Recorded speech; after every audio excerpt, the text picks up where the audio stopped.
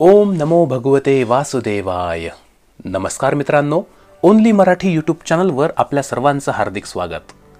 मित्रांनो पवित्र श्रावण महिना सुरू आहे आणि या श्रावण महिन्यात रोगमुक्तीसाठी आपण शिवलिंगाचा अभिषेक नक्की करा. अभिषेक करणे म्हणजे फार मोठी गोष्ट नसते.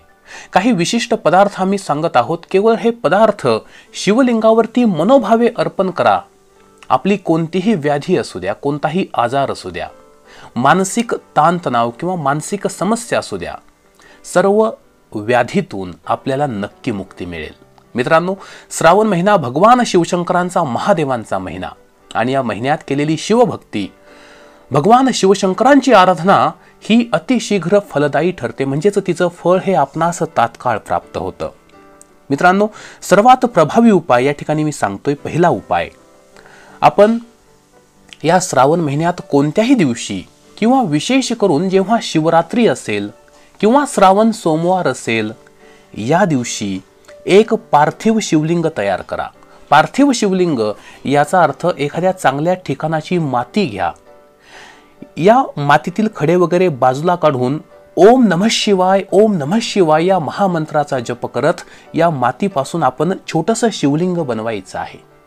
आकार महत्त्वाचा आहे अगदी शिवलिंगासारखा थोडासा जरी आकार त्याला प्राप्त झाला तरीही चालतं. मित्रांनो हे पार्थिव शिवलिंग बनवताना सात काळ्या मिरीचे दाणे घ्या. सातच घ्यावे तसा कोणताही नियम नाही. थोडेसे काळ्या मिरीचे दाणे घ्या.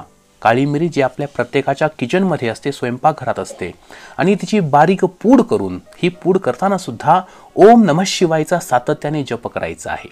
जर तुम्ही महिला असाल स्त्री असाल तर अशावेळी आपण फक्त नमः शिवाय नमः शिवाय हा मंत्र बोलायचा आहे.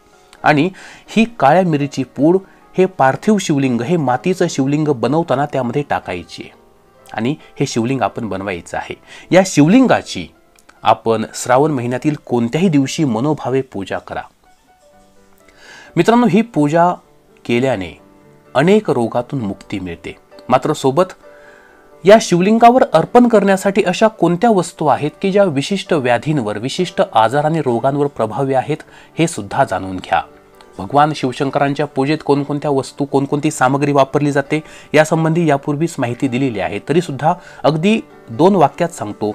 पुष्प म्हणजे फुले पंचमेवा म्हणजे अगदी तुम्हाला जो शक्य असेल तो मेवा. जी काही फळे असतात आत्ताच्या मोसमामध्ये ती फळे अनेकजण सोने चांदी यांचाही वापर करतात. थोडीशी दक्षिणा त्या ठिकाणी ठेवत चला. मित्रांनो दही असेल देशी गाईचं शुद्ध तूप असेल मध असेल गंगाजल किंवा कोणत्याही नदीचं पवित्र जल पंचरस इतर म्हणजेच अत्तर गंध रोली मौली जनेऊ पंच म्हणजे पाच प्रकारची मिष्ठान्न बिल्वपत्र म्हणजे बेलाची पानं धोत्रा भांग आम्रमंजरी तर असेल उपलब्ध. तर अशा अनेक वस्तू आहेत. मंदार म्हणजेच जे रुईचं झाड आहे त्याची फुले पाने ही सुद्धा चालतात. गाईचं कच्चं दूध अनेक जण वापरतात. कापूर अत्यंत महत्त्वाचा आहे. धूपदीप रुई म्हणजेच कापूस चंदन ही सर्व जी सामग्री आहे मित्रांनो तुम्हाला जितकी शक्य आहे तितकी तुम्ही गोळा करा आणि शिवशंकरांचं मनोभावे पूजन करा. बेलपत्र या ठिकाणी फार महत्त्वाचे आहेत. ज्या प्रकारे भगवान श्री विष्णूंना प्रसन्न करण्यासाठी आपण तुलसीपत्रांचा वापर करतो. अगदी त्याच प्रकारे शिवशंकरांना प्रसन्न करण्यासाठी बिल्वपत्र म्हणजे बेलाची पानं अवश्य वापरावीत. आणि आता जाणून घेऊया की कोणती सामग्री अर्पण केल्याने कोणत्या रोगातून मुक्ती प्रदान होते. मित्रांनो पहिला सर्वात महत्त्वाचा पदार्थ तो म्हणजे पंचामृत. पाच पदार्थ एकत्र केले जातात. हे जे पंचामृत आहे या पंचामृताने भगवान शिवशंकरांच्या या पार्थिव शिवलिंगाचं पूजन केल्यास अभिषेक केल्यास सर्व प्रकारच्या आधी व्याधीतून मुक्ती मिळते. आता जर विशिष्ट रोग असतील जसं की डोकेदुखी आहे नेत्र म्हणजेच डोळ्यांचे रोग आहेत हाडे कमजोर आहेत अस्थिरोग आहे तर मित्रांनो अशा वेळी हे सर्व सूर्याशी संबंधित रोग आहेत आणि या रोगातून मुक्ती मिळवण्यासाठी आपण श्रावण महिन्यात आक म्हणजेच रुईच्या झाडाच्या पुष्प म्हणजे फुलांचा पत्ते म्हणजे पानांचा आणि सोबतच बिल्वपत्र म्हणजे बेलाच्या पानांनी शिवलिंगाचं पूजन करा.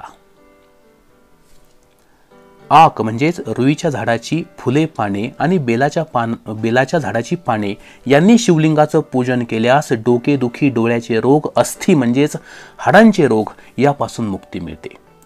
मित्रांनो जर तुम्हाला ब्लड प्रेशरचा त्रास असेल बी पी असेल खोकला असेल सर्दी ताप असेल तर यासारख्या व्याधीतून मुक्ती मिळवण्यासाठी श्रावण महिन्यात शिवलिंगासमोर रुद्री पाठ करा. आणि थोड्याशा गाईच्या दुधात थोडे काळे तीळ टाकून या काळे तीळ मिश्रित दुधाची धार शिवलिंगावरती धरा. याला आपण रुद्राभिषेक असं म्हणतो. मित्रांनो हे सर्व चंद्रमाशी संबंधित आजार आहेत. आणि म्हणूनच अशा आजारातून केवळ सर्दी खोकलाच नव्हे तर जर तुम्हाला वारंवार शिंका येत असतील मानसिक स्वरूपाचं कोणतंही टेन्शन असेल मानसिक आजार असतील किंवा बी पी असेल त्यापासून इथे लाभ मिळतो. मित्रांनो रक्तसंबंधित जर कोणते रोग असतील जेव्हा तुमचा मंगळ ग्रह कमजोर असतो तेव्हा या मंगळाच्या कमजोर असण्याने रक्तसंबंधित आजार रोग होण्याची शक्यता असते. आणि अशावेळी आपण गिलोय की ज्याला आपण गुळवेल असं म्हणतो या गुळवेलीच्या रसाने शिवलिंगाचा अभिषेक करा. मंगळ संबंधी दोष रोग दूर होतात. जर त्वचा संबंधी काही रोग असतील हे पा जेव्हा आपला बुध ग्रह कमजोर असतो तेव्हा त्वचेशी संबंधित म्हणजेच स्किन डिसिजेस होतात चर्मरोग होतात. गुर्द्याशी म्हणजे किडनीशी संबंधित रोग होतात. फेफडे म्हणजे आपली जी फुफ्फुस आहेत त्यांचाही संबंध या बुध ग्रहाशी आहे. जर श्वास घ्यायला त्रास होत असेल तर अशावेळी या सर्व रोगातून मुक्ती मिळवण्यासाठी विधारा नावाची एक वनस्पती मिळते विधारा. या विधारा वनस्पतीच्या रसाने आपण शिवलिंगाचा या श्रावणामध्ये अभिषेक करा. ज्यांचं खूप वजन वाढलेलं आहे ज्यांचं वजन खूप वाढलेलं आहे लठ्ठपणाचा त्रास आहे लक्षात घ्या हा गुरुग्रहाशी संबंधित रोग आहे. यामध्ये चरबी प्रचंड वाढते लिव्हरशी संबंधित कोणते आजार आहेत किंवा आतड्याशी संबंधित आजार असतील तर हे सर्व बृहस्पती म्हणजेच गुरुग्रहाशी संबंधित आजार आहेत आणि यातून मुक्ती मिळवण्यासाठी आपण शिवलिंगावरती हळदी मिश्रित दुधाने शिवलि भगवान शिवशंकरांचा शिवलिंगाचा अभिषेक करा. कच्चं दूध घ्यायचं आहे न तापवलेलं गोमातेचं आणि त्यामध्ये थोडीशी हळद टाकायची आहे आणि अशा हळदी मिश्रित दुधाने शिवलिंगाचा अभिषेक केल्यास हे आजार दूर होतात. ज्यांना शारीरिक कमजोरी आहे लक्षात घ्या जर शुक्र कमजोर असेल तर ही शारीरिक कमजोरी किंवा शक्तिहीनता अंगात शक्ती नसल्यासारखं वाटतं ताकद नसल्यासारखं वाटतं. तर अशावेळी या रोगातून मुक्ती प्रदान करण्यासाठी तुम्ही पंचामृताने अभिषेक करू शकता किंवा शहद म्हणजेच जो मध आहे किंवा घृत घृत म्हणजे जे देशी गाईचं तूप आहे किंवा कोणत्याही गाईचं तूप आहे अशा तीन वस्तूंनी जर आपण शिवलिंगाचा अभिषेक केले तर पंचामृताने करा किंवा शहद म्हणजेच मध आणि गाईचं घृत. घृत म्हणजेच काय? तर तूप घृत म्हणजे तूप. हे सर्व संस्कृत शब्द आहेत आपल्याला मी सोपे करून सांगतोय. तर यांनी आपण अभिषेक करा. अशा प्रकारच्या शारीरिक कमजोरीपासून तुम्हाला मुक्ती मिळेल. अनेकांचे सांधे प्रचंड दुखतात मांसपेशींमध्ये प्रचंड वेदना होतात वात रोग आहे. हे सर्व शनिग्रहाशी संबंधित रोग आहेत. आणि श्रावण महिन्यामध्ये शिवलिंगाचा उसाच्या रसाने अभिषेक केल्यास किंवा छाछ आपण म्हणतो की जे त्याला आपण ताक असं म्हणतो मराठीमध्ये ताकाने. किंवा उसाच्या रसाने जर आपण शिवलिंगाचा अभिषेक केला तर या प्रकारच्या रोगातून मुक्ती सहज शक्य होते. आणि मित्रांनो जर मानसिक रोग खूप मोठ्या प्रमाणात असतील किंवा वारंवार डोकं दुखतं चक्कर आल्यासारखं वाटतं काहीतरी मानसिक आजार आहेत किंवा पायाखालचा लकवा की ज्याला अधरंग असं म्हणतात पायाखालचा लकवा हे सर्व राहू केतू जर खराब दशेमध्ये असतील तर त्याच्याशी संबंधित आजार रोग आहेत. मित्रांनो अशावेळी भगवान शिवशंकरांना प्रिय असणाऱ्या वस्तूंनी त्यांचा अभिषेक तर कराच मात्र मृत संजीवनीचा सव्वा लाख वेळा जप करून लक्षात घ्या मृत संजीवनीचा सव्वा लाख वेळा जप करून भांग आणि धोत्र्याने शिवलिंगाची पूजा करा.